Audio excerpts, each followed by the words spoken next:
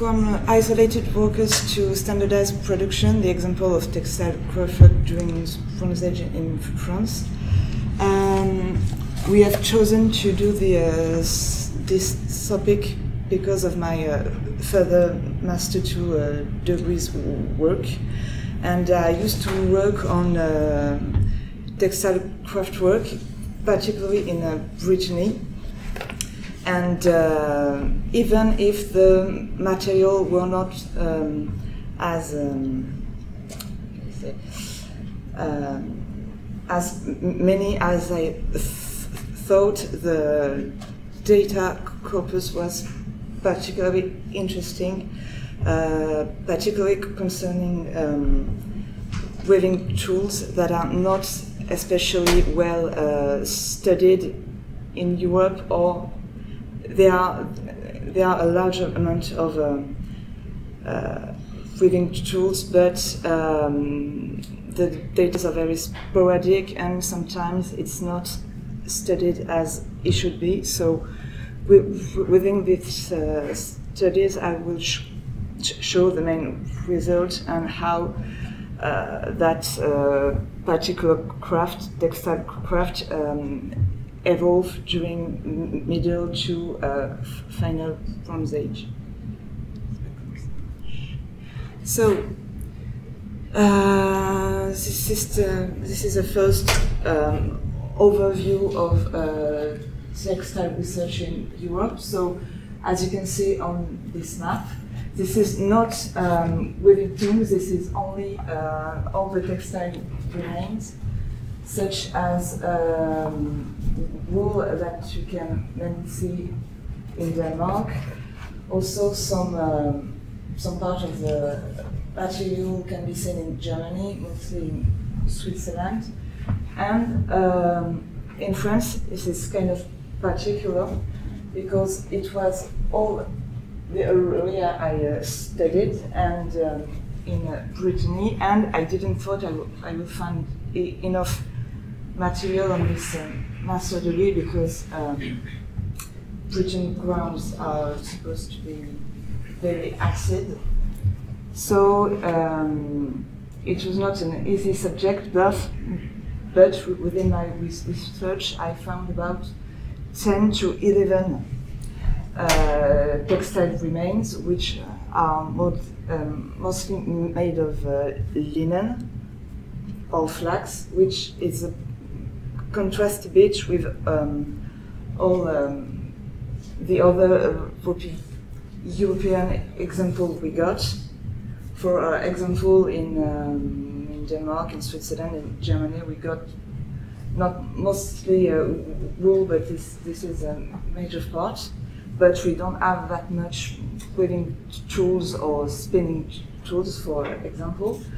But in Brittany, and uh, that's the interesting part, we only have uh, linen remains during all the Bronze Age, um, ancient Bronze Age to final Bronze Age. This is only linen, and the tools that can be associated with seems to be um, uh, I'm sorry, seems to be adapted to to that um, to that particular material. So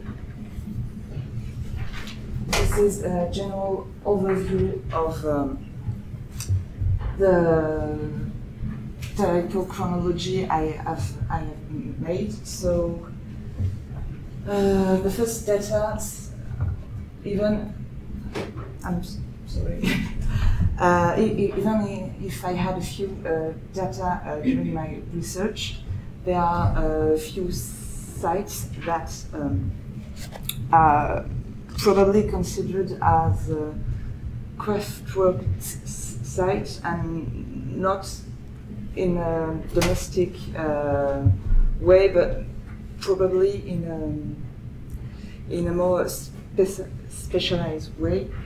So uh, for the ancient Bronze Age, I have uh, remarked that all the loom weights are, are, kind of cylindrical and kind of really heavy. And by heavy, I mean uh, one kilogram and a half to two kilograms, which is uh, kind of heavy for uh, tools. So um, I decided to uh, do some experimentations to see how that particular um, material can be uh, put on a loom and how it works on a loom, how uh, how does it function. And uh, within my studies, I realized with some with some time uh, that that particular uh, class of uh, loom weight is mostly uh, designed and thought to uh, have worked with linen because the fibers of linen and more, and more generally uh, vegetal fibers are more uh, are more long and more strong than animal fiber within this period. So um, there would be too much um, too much uh, um, changing uh, in the tissue, and it would be a, uh, of a bad uh, quality if it was made with wool. And um, other things I have remarked is that the more you um, uh, you advance in times, I could say, uh, you can see there is a slight um, changing in the shapes and in the morphology of these materials. Uh, instead of being um, cylindrical, it's more like trapezoidal sh shape or triangle sh shape. And I tried to do some experiment with that also. But it seems that even if those kind of sh shapes are more uh, common during the Iron Age, you, you can already see that um, there is a kind of tendency during Middle Bronze Age, but uh, still those kind of um, of tools are still not made for wool, uh, weaving or wool um, textile craft because it's still too heavy. It's about one kilogram and a half or two kilograms, and we can mostly say that all the it uh, it has some connections with the textile agreement that we got because every single uh, every single uh, loom weights that I find are not uh, are not adapted to um, animal fibers, but mostly and linen. And one thing that is interesting is that kind of, uh, of thing. So uh, when I first uh, started to analyze uh, that, I wasn't sure of what I was um, of uh, what I would find. Uh, unfortunately, all the textile remains are made um, are not um, made for clothes. It's made in that particular case for a scabbard element. And uh, some data that we can find uh, contradictive is that in ancient Bronze Age, uh, the tissues were more, um, more uh, I wouldn't say fine, but um, that the fabric that, that, we can find in the middle and uh, late Bronze Age, but mostly because all the tissues found uh, for uh, final Bronze age are used for um, for st storage, so it is not the same use at all. But um, with that uh, particular kind of uh, remains, we were able to say that um, to say uh, that the spindle wheel that were used were not um, uh, heavier than uh, 20 grams because if it was heavier, uh, the, the diameter of the yarn would have been heavier. So this is a multidisciplinary approach because um, I couldn't uh, study that as not being a ceramologist. That's why Antoine will uh, do the, the rest. Okay. So, okay. Okay. So first, I have to introduce myself. I'm Antoine Cocoual. Uh, I'm a ceramologist specialized in uh, ceramology and uh, in 3D for archaeology. And I have to apologize already for my rude English. So I will try to speak slowly. slowly. So I will present you today uh, a small study that, that I did to uh, help her in, this, uh, in his master thesis on loom weights that seems to prove, to, or at least to, to, give, to give us some clues that there were, there, there were existing uh, standardization and and a, normalization of the production uh, of tissue during the Middle Bronze Age. So the, the case uh, I will present you is BD, uh, is a, very particular, uh, particular case of findings of loom weights because they were well contextualized in three pits and there, there is um, it is the site where we found where we found uh, the most great number of this uh, this, this object in Brittany. So. So uh, the first thing, the first uh, clues of uh, standardized production in the typology. As you can see there, on 38 uh, loom weight uh, there is only five types you can uh, can find. Smaller and bigger, but uh, it seems to be uh, like uh, a functional wall, to form a functional wall to be used directly in a loom.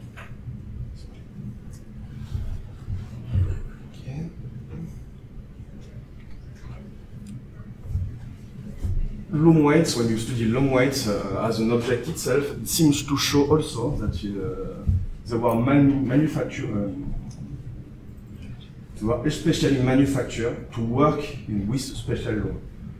Firstly, because the morphological is the same from we um, for each type there is not many difference of weight and uh. And more, uh, more than that, there is a, on every uh, weight you can uh, find a center of, gravi of gravity. I mean, there is still in, there is always a part with more than the other one.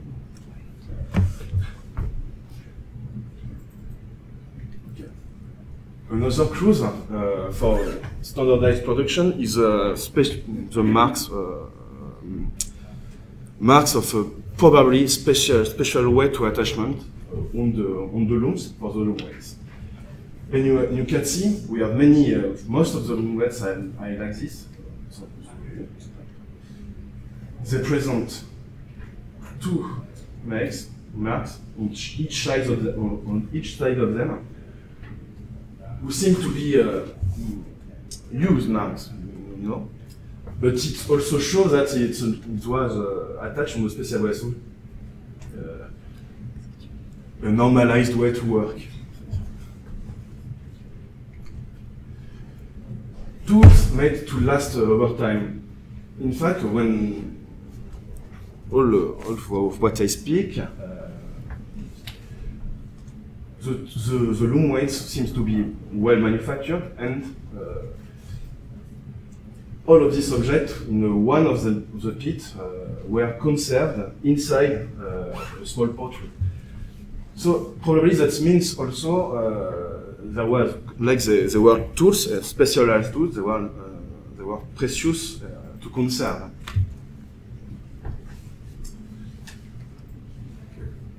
So from methodological reflections. Uh, this small study perhaps introduce a, a, debate on the interpretation we used to do on that, that, that type of object, domestic or, special, specialized craft, craftwork, because uh, in most of the many publications, you can, you can read when they find loom weights, just loom weights, it's domestic, because they, they, they, are loom weights. But in fact, uh, this is probably because uh, the phenomenological way to study weights is not, that, it's not adapted to that, to that type of object. Because they are, they are tools and not finite products. So a small number of them is not meaning that uh, the produ production of tissue was small. So maybe we need, mm, we need new investigation methods uh, as we, we to, to work with other disciplines maybe. A new representation support because to do a traceology uh, on the loom weights uh, with only pictures and uh, and uh, drawing is not very possible. Maybe we should systematically do it in three dimensions.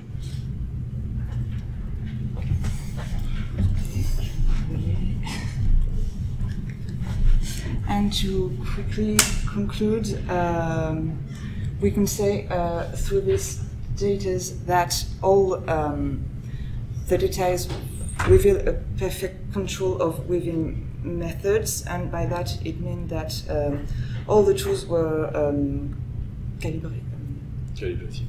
calibrated because the length uh, that's one of the things I forgot to say, uh, were, was equivalent of the fabric on the weights. It, it was almost the same uh, length when I studied to study uh, that. So maybe there is a standardization and uh, we need to have more data to uh, to um, to extend the firstly the chronology of these uh, studies because it is only from uh, age in uh, Brittany, but perhaps if we could uh, study more like uh, first Iron Age, we will be ab able to um, give new uh, answers to these transformations and see if it's due to other kinds of um, uh, weaving techniques. If some new weaving techniques appear so you can see some um, some uh, some, inf some influence on the tools and uh, for that kind of study what could be uh, interesting would be to incorporate paleo-environmental data archaeological and traceological why um, archaeozoology? Because uh, in some studies it was not entirely proved, but it was clearly, clearly said that um, during Bronze Age uh, you can see an increase of uh, ship remains uh, in some sites, and uh, with that increase, uh, it was possible to see in textile remains more uh, textile and fabric made ad, out of wool. So it is um, another um, another clue and another step to that kind of studies and see if um, um, pastoralism, pastoralism. I'm sorry, I don't know the word. Uh, could have influenced uh, simply uh, weaving craft and if this change could be seen with a multidisciplinary approach. Yes. That's it. Oh, I'm over the time. I'm sorry. So